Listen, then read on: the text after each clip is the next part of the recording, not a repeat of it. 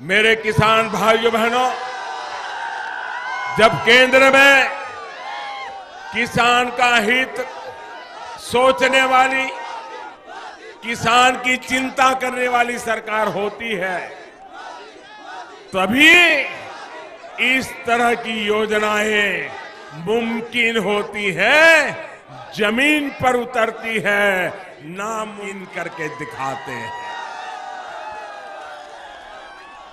आप पहले की सरकारों की अब ये जरा समझने जैसा विषय है भाई।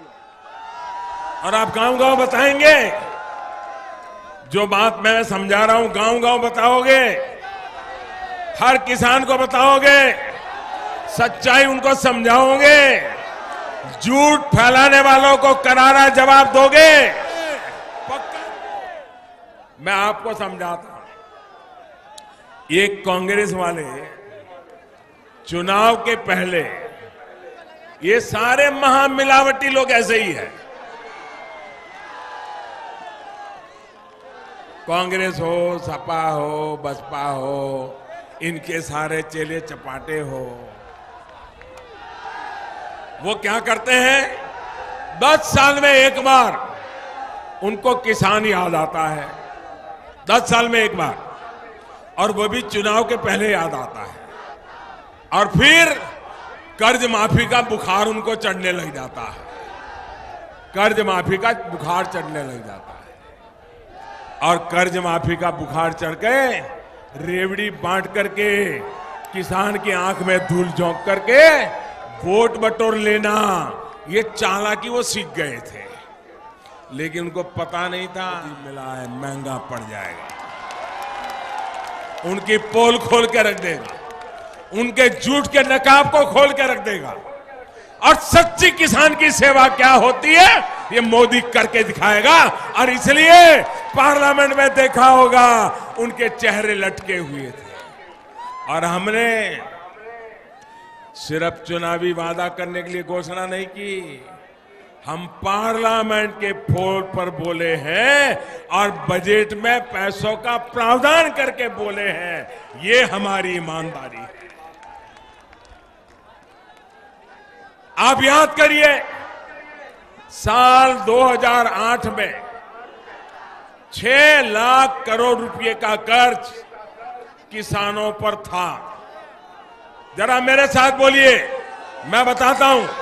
2008 में सरकारी दफ्तर के हिसाब बैंकों के दफ्तर के हिसाब से किसानों का पूरे देश का कर्ज था छह लाख करोड़ रुपया। कितना? कितना? कितना? छह लाख करोड़ रुपया। अब उन्होंने कर्ज माफ़ी चुनाव के पहले घोषणा की। तो ये छह लाख करोड़ माफ़ होना चाहिए था कि नहीं होना चाहिए था? आप जरा ज़ोर से बोलिए, होना चाहिए था नहीं होना चाहिए था? ये छह लाख करोड़ किसानों का माफ़ होना चाहिए था कि नहीं होना चाहिए था? 2009 में चुनाव हुआ, फिर से वो कृषि पे चिपक गए, फिर रिमोट कंट्रोल चालू हो गया। और क्या हुआ मालूम है आपको? क्या हुआ मालूम है? देश को किसी को मालूम नहीं है। सब अंधेरे में। और इनके चेले चपाटे भी। छह लाख करोड़ का कर्ज था। माफ़ कितना किया? सिर्फ़ सिर्फ़ सिर्फ़। आंकड़ा याद रखिए। छह लाख करोड़ के सामने मात्र बावन हज़ार करोड़ रुपया माफ़ किया। कितना माफ़ किया? कितना माफ़ किया? कितना माफ़ किया? कितना करने की ज़रूरत थी? कितना करने की ज़रूरत थी? आप मुझे बताइए, ऐसा झूठी बातें करने वालों पर देश का किसान भरोसा करेगा क्या? ऐसा झूठ करने वालों को सजा करेगा कि नहीं करेगा? और भाइयों बहनों, ये बावन हज़ार करोड़ रुपया भी दस साल में एक बार, और वो भी चुनाव के पहले। बड़ी बड़ी बातें। अब ये उन्होंने जो लिस्ट बनाई, वो भी किसकी? जो उनके सिपा सालार थे, उनकी। सब किसानों की नहीं। बारह तेरह करोड़ किसान, उसमें से सिर्फ़ दो या तीन करोड़ किसानों को ही सिर्फ़ ये बावन हज़ार करोड़ रुपया बांट दिए गए। उसमें भी 35 लाख तो ऐसे निकले जिनका कोई किसानी से लेना देना ही नहीं था। बताइए भाई, इतना बड़ा गफला? क्या ऐसे लोगों माफ़ करे हो क्या ऐसे लोगों को माफ़ करोगे क्या? भाइयों बहनों दस साल में बावन हज़ार हम जो योजना लाए हैं, वो हर साल साल, एक समय के लिए नहीं है, हर साल साल में तीन बार, और सरकारी खजाने से हर वर्ष पचहत्तर हज़ार करोड़ रुपया किसान के खाते में जमा होगा। उन्होंने 10 साल में एक बार बावन हज़ार करोड़ दिया था। हम 10 साल में साढ़े सात लाख करोड़ रुपया देंगे। कितना? साढ़े सात लाख करोड़ कितना? कितना? कितना? साढ़े सात लाख करोड़। कोई बिचौलिया नहीं, कोई दलाल नहीं, कोई मेरा तेरा नहीं, न कोई जाति के आधार पर, न कोई धर्म के आधार पर। हर किसी को पाँच एकड़ और उससे कम ज़मीन है, उन सबके खाते में सीधा पैसा जाएगा। भाइयों, बहनों इनकी योजना। साल में एक बार। वोट बटोरने की। किसानों के आँख में धूल चौंकने की जो योजना थी, उसमें गाँव में अगर 100 किसान है तो कहीं पर 20 को लाभ मिला, किसी को 22 को मिला, कहीं को 25 को मिला। हमारी योजना ऐसी है, हर वर्ष मिलेगी। देश के 12 करोड़ किसानों को मिलेगी। और गाँव में अगर 100 का हिसाब लगा ले तो 100 में से 90 किसानों को मिलेगी, भाइयों बहनों 90 किसान। सोचिए, किसानों को सीधे पैसा देकर देश की ग्रामीण अर्थव्यवस्था को कितना बड़ा निवेश मोदी सरकार कर रही है, इसका आप अंदाज लगा सकते हैं।